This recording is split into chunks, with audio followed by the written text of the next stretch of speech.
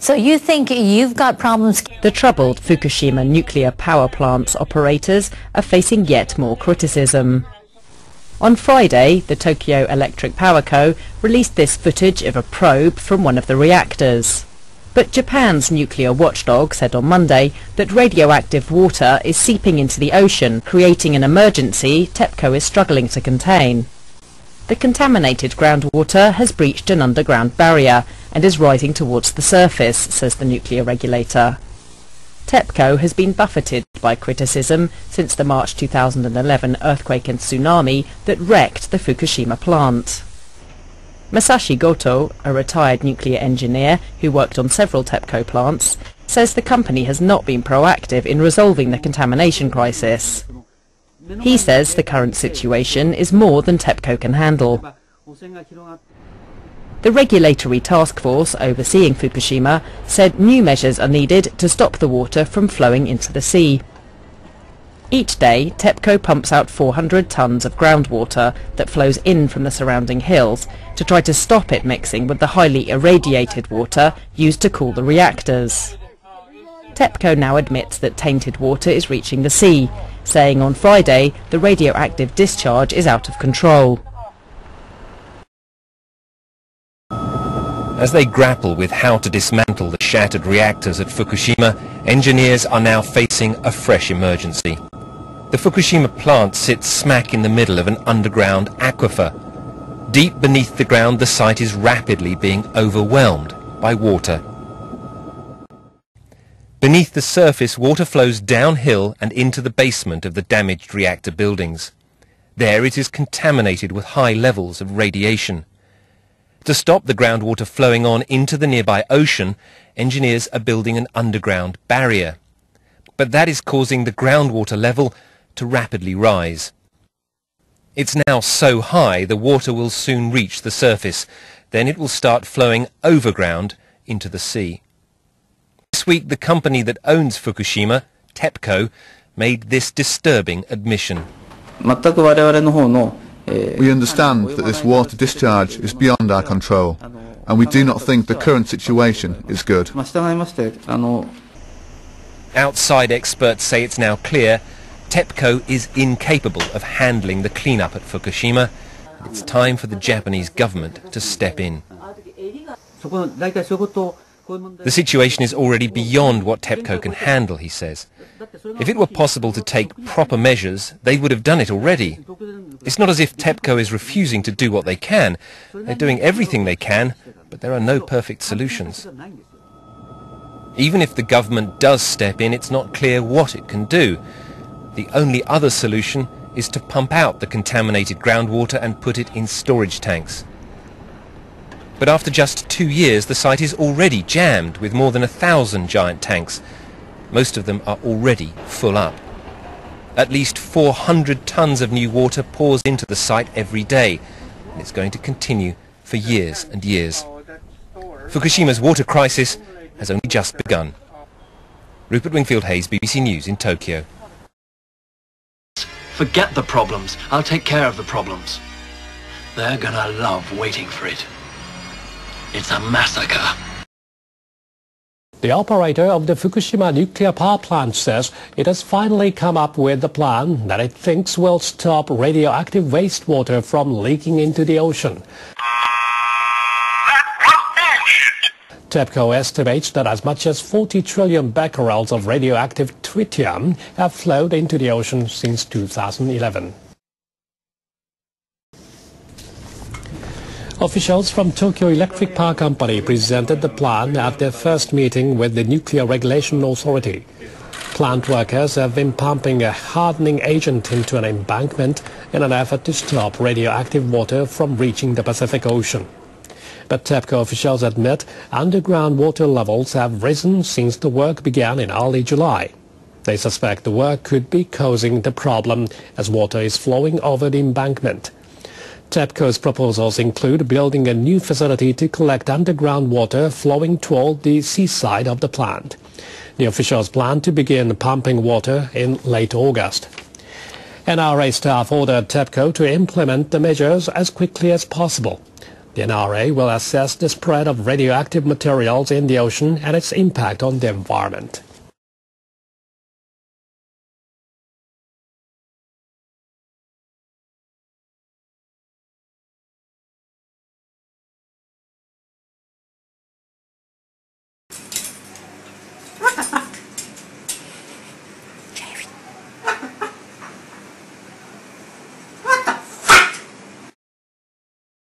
Once again, Japan springs into action to make all of your augmented reality dreams come true. TEPCO admitted for the first time last month that contaminated groundwater is leaking into the sea.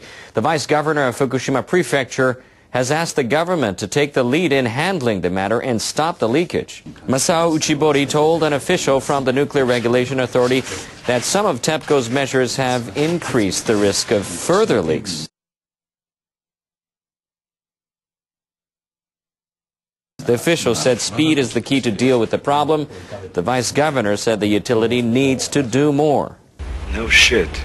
The measures aren't enough to deal with an emergency situation. The government should make the first moves to handle the matter and produce results.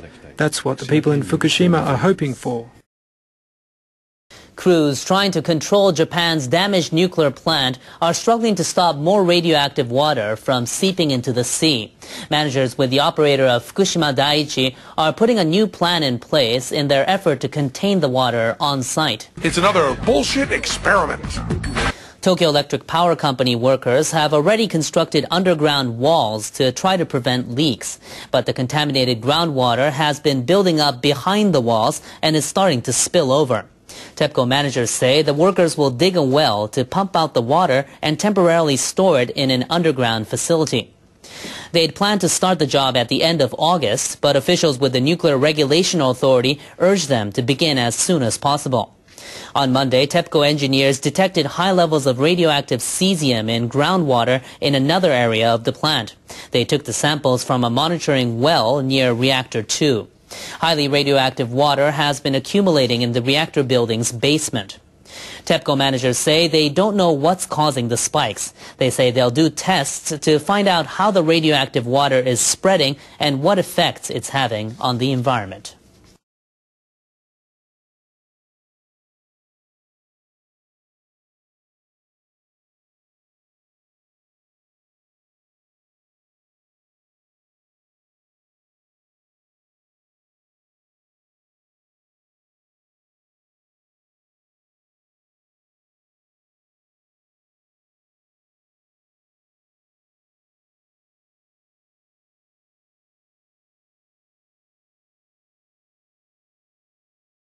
Japan's devastated nuclear plant at Fukushima is facing a new emergency due to radioactive water underground that's threatening to rise to the surface.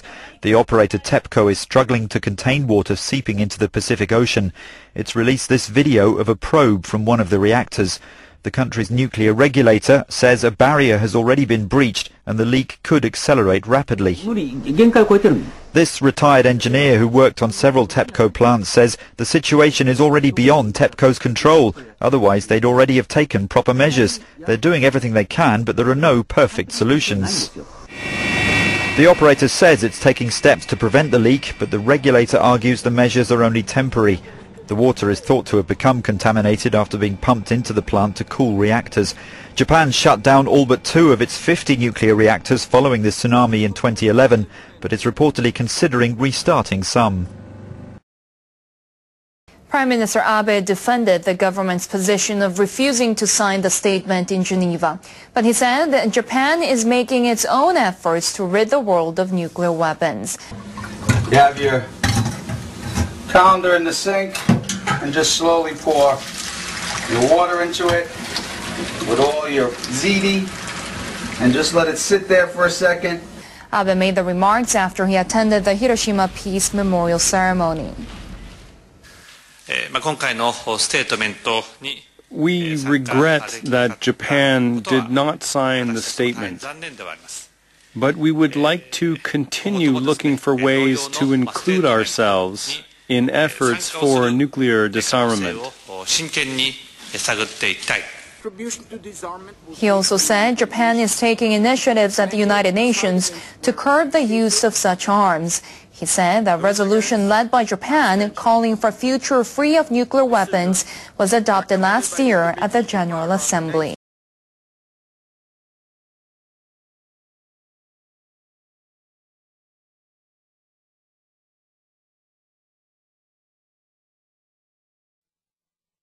You have your colander in the sink and just slowly pour your water into it with all your ziti. Officials appointed by the Fukushima government have made an emergency visit to the damaged nuclear plant. They're investigating whether the operator of Fukushima Daiichi is doing enough to stop leaks of contaminated water, and they're unimpressed by what they found. 22 officials inspected areas of the compound where contaminated groundwater has been leaking into the sea. They assessed an underground tunnel that's believed to be filled with highly radioactive wastewater. They also monitored work that's been done to reinforce embankments between the number two reactor and the sea. Crews constructed barriers to prevent the water from reaching the ocean. Several officials voiced frustration at the way TEPCO has been handling problems. They said the utility has been reacting to issues as they rise rather than taking preventive measures. Fishermen will never have peace of mind until we know for sure that the contaminated water has been contained. Plant Chief Akira Ono promised to implement whatever steps are possible. He said he would try to see the situation from the perspective of the public.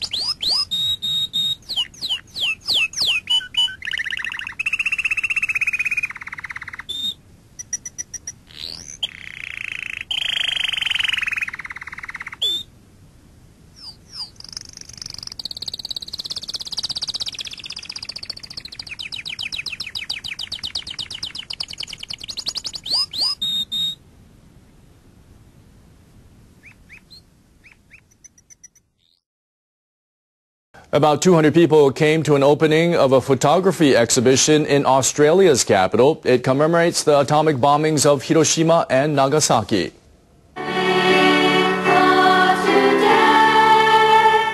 The Australian Red Cross is organizing the event at the High Court in Canberra. The exhibition is called Memories of Hiroshima and Nagasaki, A Quest for Peace. It features images of the aftermath of the 1945 attacks. One of the Hiroshima survivors, Junko Morimoto, spoke to attendees. It has been 68 years since the bombings, and there are still many conflicts in the world. Countries are still racing to build nuclear arsenals. Morimoto was 13 years old when the United States dropped the bomb on her hometown. She currently resides in Australia.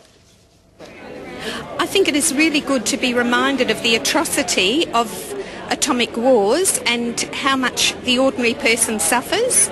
We need to try to have more peace in our world. It's kind of scary and it's kind of teaching me something as well, that everyone can have peace. Morimoto said it is important for survivors to keep telling their stories. She said if they don't, she is sure people will use nuclear weapons again. Iran's new president, Hassan Rouhani, says he is seriously determined to resolve the dispute over the country's nuclear development. Rouhani gave his first news conference as president on Tuesday. He said he believes Iran and the West can reach a win-win solution. Now watch this. Look, a snake's up in the tree. Honey badger don't care. Honey badger don't give a shit. It just takes what it wants. People in Hiroshima have marked 68 years since the atomic bomb was dropped on the city. Mayor Kazumi Matsui called it the ultimate inhumane weapon. He urged the Japanese government to lead the way toward abolishing nuclear arms.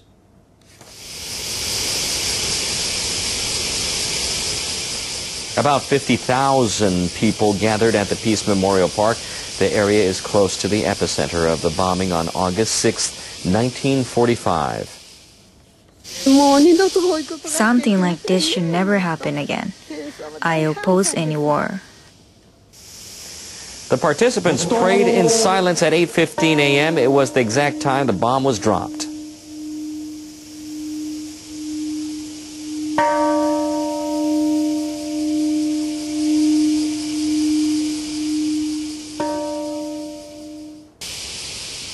Mayor Matsui spoke of the nuclear weapons. The atomic bomb is the ultimate inhumane weapon, an absolute evil. Hiroshima calls on the Japanese government to strengthen ties with other countries to pursue abolition.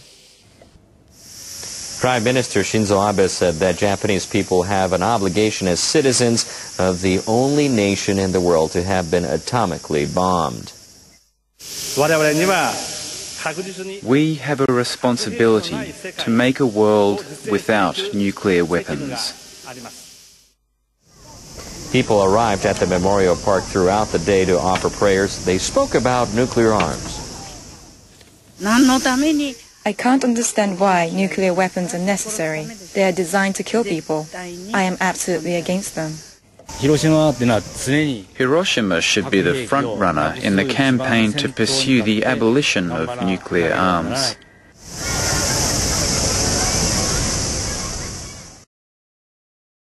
The people of Hiroshima are remembering one of the most horrific days in history. 68 years ago, the crew of a U.S. plane dropped an atomic bomb on their city. It was the first time a nuclear device had been used in an attack.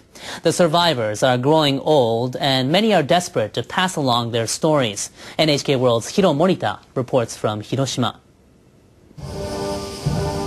People from Hiroshima perform this rite every year. They gather with visitors from around the world.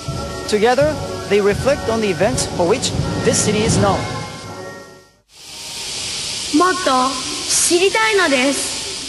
We want to know more, the reality of the atomic bombing, the thoughts of the survivors. We want to spread these ideas far and wide. More than 50,000 people attended the Hiroshima Peace Memorial Ceremony. They came to remember the day in 1945 when their city was destroyed. People here stop every year at 8.15 in the morning, the time the bomb was dropped.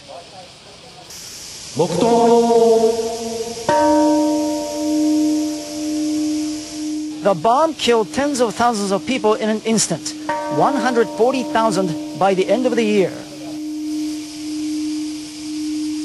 The mayor of Hiroshima placed a list of the victims in the cenotaph.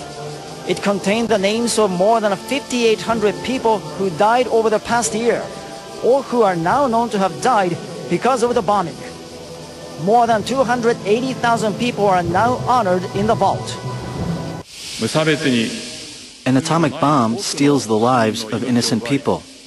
It permanently alters the lives of those who survive it. It stalks their bodies to the end of their days. The atomic bomb is the ultimate inhumane weapon, an absolute evil. Matsui asked Japanese government officials to strengthen ties with other nations and lead the way toward abolishing nuclear weapons. Prime Minister Shinzo Abe said Japanese have a duty as citizens of the only country to have come under attack by atomic bombs. We have a responsibility to make a world without nuclear weapons. But Japanese leaders have not been very cooperative. Delegates from more than 70 countries met in April at a nuclear non-proliferation treaty conference in Geneva. They agreed on a statement that called nuclear weapons inhumane. Those from Japan refused to sign.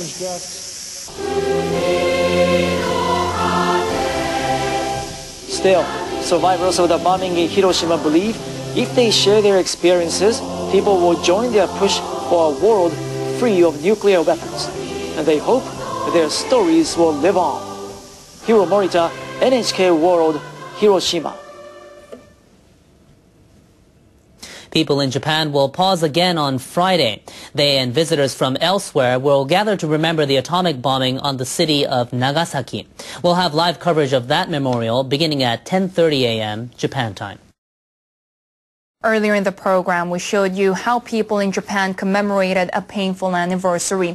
Thousands gathered in Hiroshima to mark the day the U.S. military dropped an atomic bomb on the city. Later this week, Nagasaki will hold a service to remember the day it was bombed. Outside of these cities, though, awareness of the attacks is fading. Members of a civic group in Tokyo are trying to change that. NHK World's Miyuki Tokoi shows us how.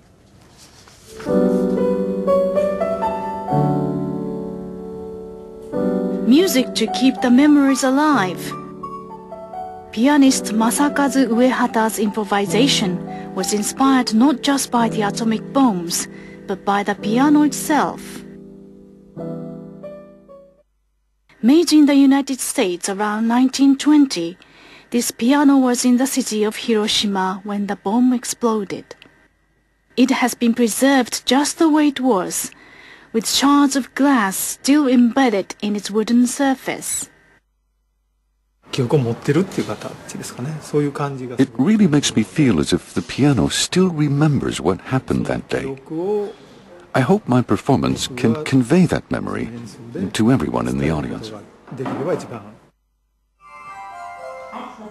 A slideshow tells the story of the piano and its young owner.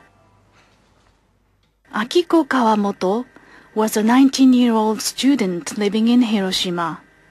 She was born in 1926 in Los Angeles, where her father was working at the time. The piano was bought to commemorate her birth. When Akiko was six, the family returned to Japan together with the piano and settled in Hiroshima. Akiko loved playing the piano more than anything else. She often wrote about it in her diary. Akiko was about one kilometer from the epicenter of the explosion, working with the Student Mobilization Corps. She died a day later from radiation exposure. Akiko's parents left her bedroom exactly the way it was when she was alive, including the piano. But recently, Akiko's brother entrusted it to a peace group so that people could hear it actually being played. After hearing about the piano, Uehata was keen to bring it to Tokyo for the event on Saturday.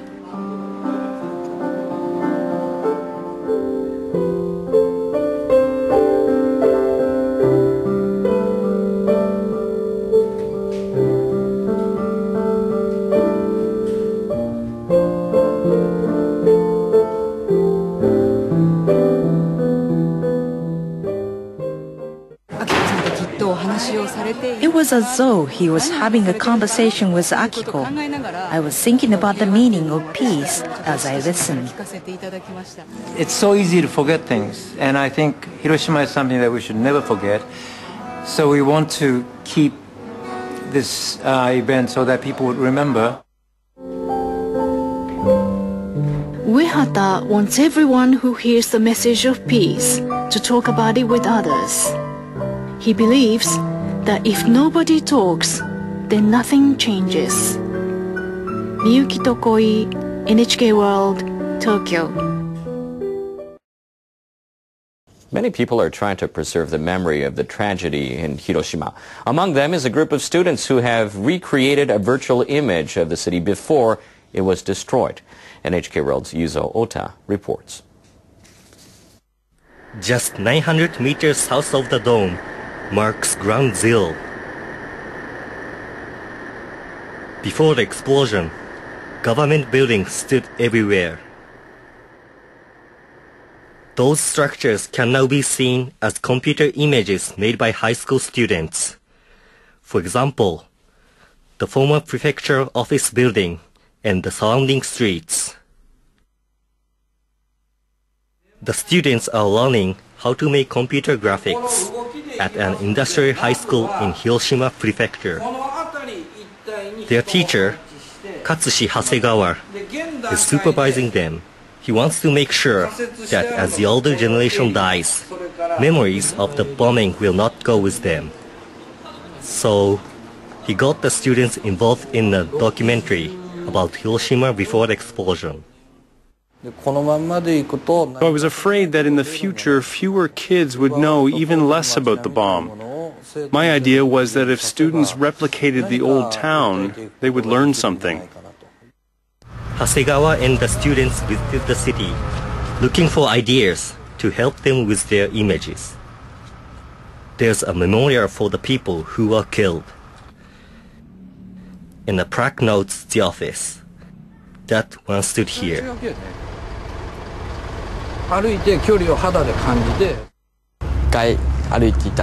Strolling about the area allowed me to understand the extent of the bomb damage, and that will help in producing our CG. After returning to school, the students put their research to work, and the old buildings took shape. To make the graphics look more real, they decided to include people doing everyday activities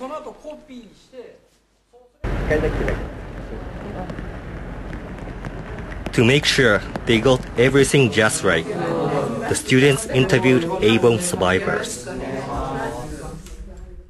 They asked all kinds of questions about life before the attack. Ah, 服装に特徴とかはありますかなるほどなるほど帽子は帽子はね全部後ろ側に向けてこう 花が団子にこの丸いのつけ丸い紙を中へ隠して We learned a lot from the survivors. I want to make the images of people look as authentic as possible. But it's not easy to depict people's age or gender, or recreate the clothing of the war era. おばさんっぽくする Women don't take long strides like that. We're trying to make the figures look realistic, not like statues. The students never let up, keeping the people of the 1940s in mind. Finally, they finished their work A man dressed in national uniform at the entrance to the prefecture office. On the street, a woman wearing loose work pants, typical of the era. The information from the survivors helped make the computer images more lifelike. 原爆はただ大きく爆発して Before, I only knew that the atomic bomb was huge, that it destroyed the town, and many people died. But I want many people to learn what I came to know through this project. Almost 70 decades after the atomic bombing, digital images simulate people as they went about their daily routine. And through this project, students get the clear idea of what was lost forever. Yuzo Ota, World, Hiroshima. The next round of talks on the Trans-Pacific Partnership Free Trade Deal is approaching. Tariff cuts will be one of the key issues. Japanese officials say they will monitor what other nations do before clarifying their stance on rice and other farm products. The Japanese officials are holding an intensive preparatory session before the talks, which start on August 22nd in Brunei. Delegates are expected to submit a list indicating their national plans on tariffs for agricultural and industrial goods. Tokyo officials are dividing products into those for immediate tariff removal and for staged cuts over time. Discussion on a third category that, that includes rice, wheat and other food products will be shelved for the time being.